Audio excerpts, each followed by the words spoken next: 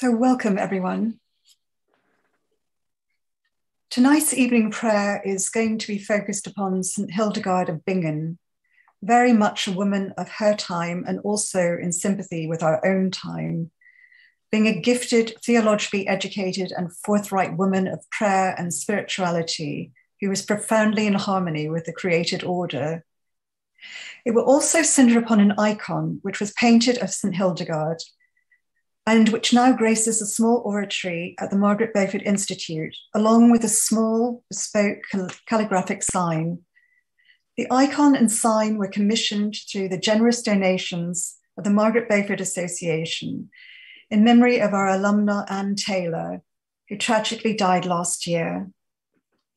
This evening, we remember Anne, along with other members of our alumni who've died through readings, prayer, meditation, and a presentation by Sister Esther of Turvey Abbey, who painted the icon of St. Hildegard. So let us pray. Come, Holy Spirit, fill the hearts of your faithful and kindle in them the fire of your love. Send forth your Spirit, and they shall be created, and you shall renew the face of the earth. In the name of the Father, and the Son, and the Holy Spirit. Amen. Next slide. And now we have a reading from Ecclesiasticus from a former principal of the Margaret Beaufort Institute, Dr. Una O'Brien. Next slide. Here are some more of my reflections. Yes, I am as full as the moon at the full. Listen to me, devout children, and blossom like the rose that grows on the bank of the watercourse. Give off a sweet smell like incense, flower like the lily, spread your fragrances abroad, sing a song of praise, blessing the Lord for all his works. Declare the greatness of his name, proclaim his praise with song and with lyre, and this is how you must sing his praises. How wonderful the actions of the Lord.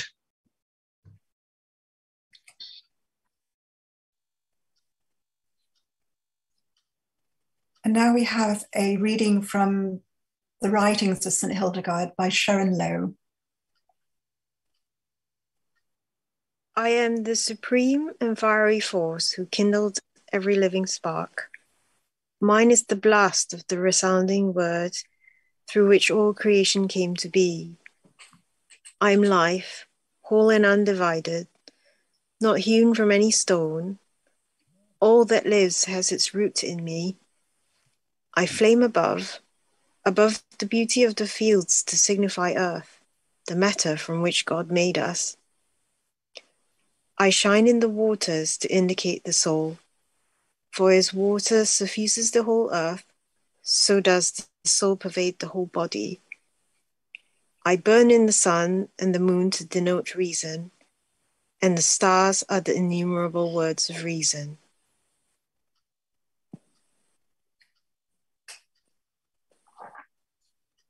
Hope is not deceptive because the love of God has been poured into our hearts by the Holy Spirit, which has been given to us.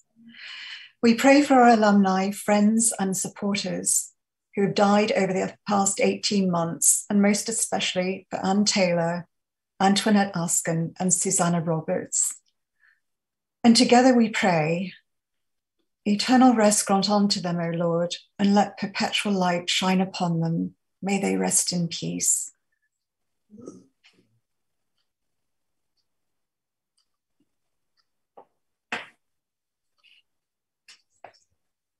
Now, Mary, Murray um, Kelly Gross is going to take us through the sequence of the Holy Spirit, um, which is another wonderful writing by St. Hildegard. O fire of the Spirit, the Comforter, life of the life of all creation, holy are you, giving life to the forms. Holy are you, anointing the mortally broken Holy are you, cleansing the fettered wounds. O breath of sanctity, O fire of charity, O sweet savour in the breast, and balm flooding hearts with the fragrance of virtues. O limpid fountain in which we can see how God gathers the strays and seeks out the lost. O breastplate of life and hope of the integral body. O sword belt of honour, save the blessed. Guard those the foe holds imprisoned. Free those in fetters whom divine force wishes to save. O current of power, permeating all in the heights, upon the earth, and in all deep, you bind and gather all people together. From you clouds overflow, winds take wing, stones store up moisture, waters well forth in streams, and earth swells with living green. When by his word God fashioned the cosmos, founded sky and earth and sea, you, Spirit, brooded over the waters, unfolded your deity. You make waters fruitful to give life to creatures you breathe on men to make mortals living spirits. You are ever teaching the learned, made joyful by the breath of wisdom. Praise then be yours. You are the song of praise, the delight of life, a hope and a potent honor, granting garlands of light.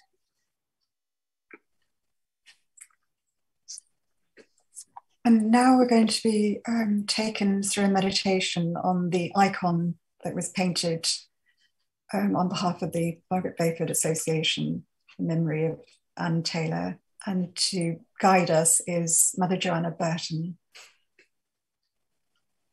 There are many ways to look at Hildegard, St. Hildegard. Poet, mystic, musician, spiritual guide, plant developer, feminist, climate activist, even feminist before her time, but I like to look at her and her life as that of a person who did not fit the offered stereotypes. She was a nun, but also all these other things. A mystic, yet seemingly intensely active. A woman, yet wielding an authority rarely experienced perhaps in the church, and an authority which, in spite of battles with the local bishop, seems to have been acknowledged by those in the church. And look at her in Sister Esther's icon, no thin, tranquil ascetic, but a buxom, almost fleshly figure with great strong legs and thighs, bristling with an energy that makes us think that she is about to jump down out of the icon and do what she has heard, obedient to the word of God as befits a daughter of St. Benedict, but certainly no stereotypical iconic ascetic figure. So she can teach us to be ourselves in the church and to encourage each other to be so too to use the whole of ourselves for ministry and for others, not to accept to be less than we are, not to cut off great areas of our being and gifts, simply because the established authority says we must choose to be one or the other. And that by extension, the church can be other than it currently is, more relational, more person centered, reflecting more faithfully its Trinitarian model. No bad thought as the Institute inaugurates its Centre for Ecclesial Ethics. The second thing I notice is the blue circle of light with its three Trinitarian rays of light touching, penetrating St. Hildegard. Here surely is the source of her freedom and of her discernment.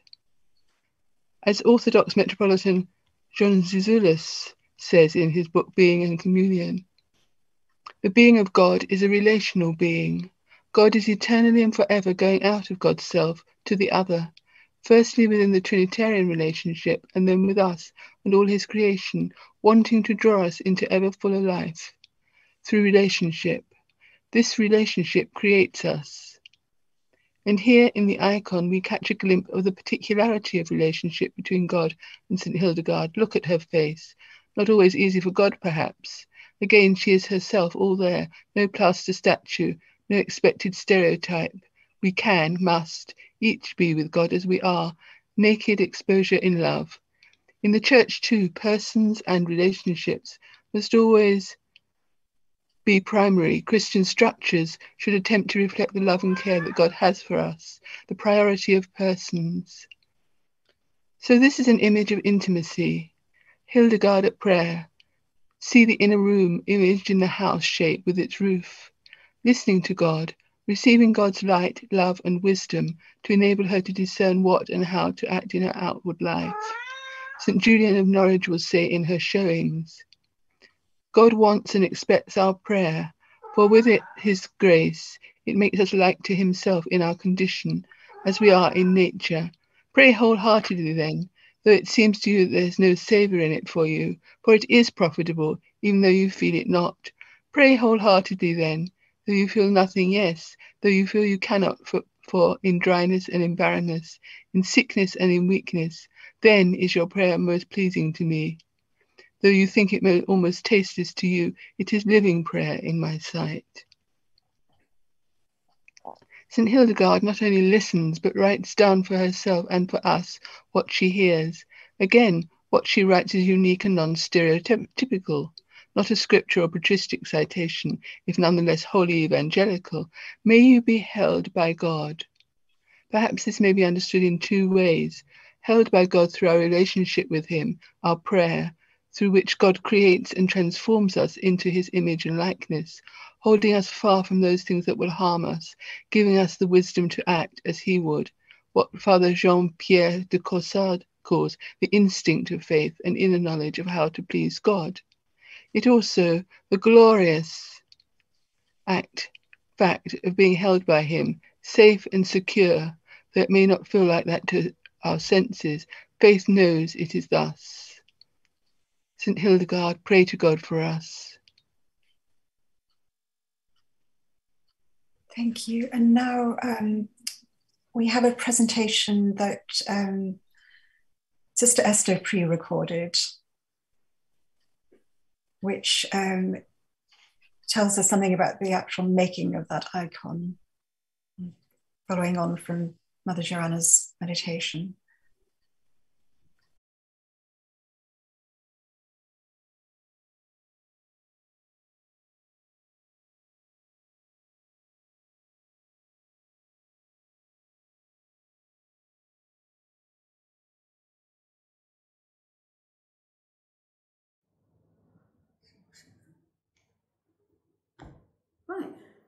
So, hello everyone. This is nice to be able to share with you something of Saint Hildegard, the icon. You, I presume, you all know the story of St Hildegard, so I won't uh, repeat that. But that she had, um, obviously, I suspect from childhood actually, locutions. She was able to hear things from the Lord, and then he, he told her to write these things down, or she gave it also to her secretary to write it down as well. So here we see the opening of the heavens in this one. That happens in some icons, like St. George, for example, where you see the heavens opening. Here you actually have a hand, the hand of Christ, to give him strength to slay the dragon. And so here we have an opening, but no hand, of course, and these little rays to show the Holy Spirit also coming down on Hildegard as she writes. And this is part of some of the things that she has written. May I be upheld by God. And it shows that this is taking part, something, she reminds me a bit of um, Julian Norwich. So I put her in her cell and we're looking into her cell. And here we can see her table that she's writing, sanding the book to write in. And she was also very musical, so put a kind of zither or harp, whatever you like to call it, here. And um, she had many, many gifts, of course, as you all know. So, as regards her habit, um, it's a very medieval looking style, which was kept, of course, among people until um, the last century. And um, she's wearing what we call a gamp around her head and a veil.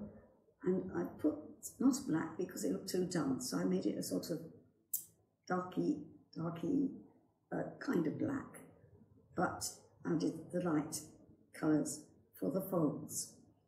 And she's seated down on, on a seat, and here is the background of herself, just a plain background, which was done with another technique. So I thought I'd show you how it's done. So we have egg yolk mix, which is the form of egg tempera, and needed for it. And this is made from pure egg yolk with the skin off and half the amount of water to the egg yolk. And we put the mixture, mix it up, and I put a little bit of um, alcohol in to preserve it. Usually it can be vinegar, it can be a bit of beer, and um, but I happen to have an old alcohol, so that I use that up for this. And then to mix the colour, put in the same amount of egg yolk mix. See, that's better over, better over this side, I think. And this, with that egg yolk mix, which is half water added to the egg yolk, and to make this basic colour, I used red with the blue, um, copper blue, to get it to that colour.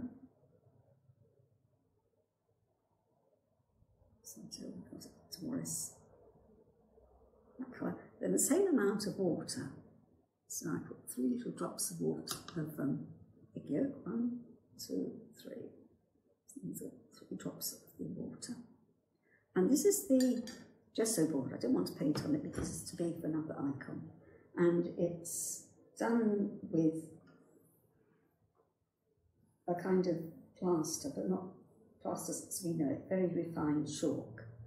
And there's various recipes in which to do that, uh, to which you mix it with um, either gelatine glue or rabbit skin glue, um, or some other kind of glue possibly, and you build up the layers little by little by little. And then once, once you have enough layers, but it depends how thick or how thin it is, 6 to 12 layers, you finally sand it down and then with a very smooth sander, just gently at the very end, so that when you put your finger on, it feels a bit like ivory. So then that's ready. That takes a little while to do. So when that's ready, it's ready to be painted on. I don't want to paint on that. But this just shows you a little bit how the basic colour for her habit was done. I didn't want to make it actually black. That's still a bit light, so I'm going to just make it a bit darker. That will be habit. Once that's on and dried, then I'll put in the folds and the, the folds and the light. So I enhance it a bit by using blue, it's an imagination really, but it's just to make one look at Hildegard. And on the back here, I haven't used water. What I've done, I've put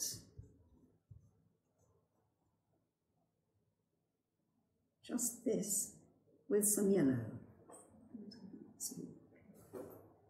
the yellow mixture. And then I wipe the brush, no water, until my brush is quite dry. And then, which is another technique, then just put these little crosses in all over the place, leaving a few white spots here and there. And then once that's dried, added white to this mixture and then put the other little crosses just here and there over it. So you get this nice varied background. In fact, that's another way of actually painting, it but um, it takes it takes longer.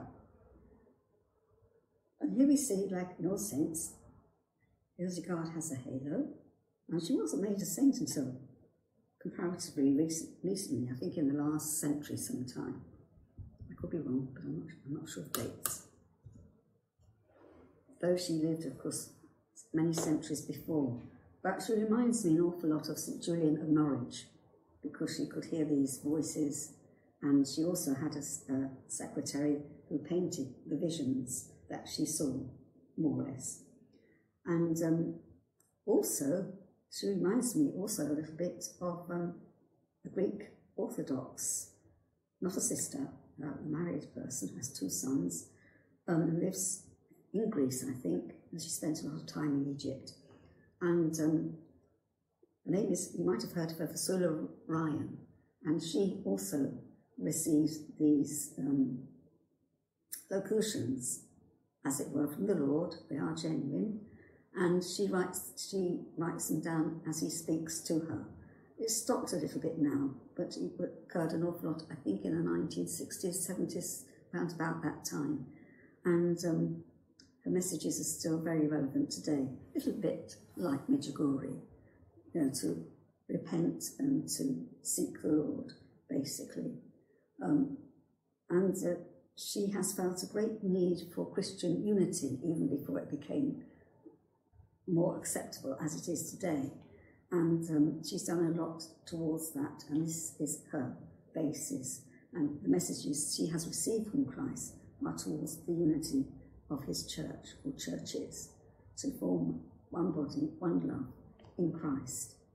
So that's the basic of St. Hildegard. The rest you probably know more than I do about it, but I wanted to share a little bit with you because I know you're having a special Zoom on this. Hildegard's face, by the way, um, all faces on icons have are painted.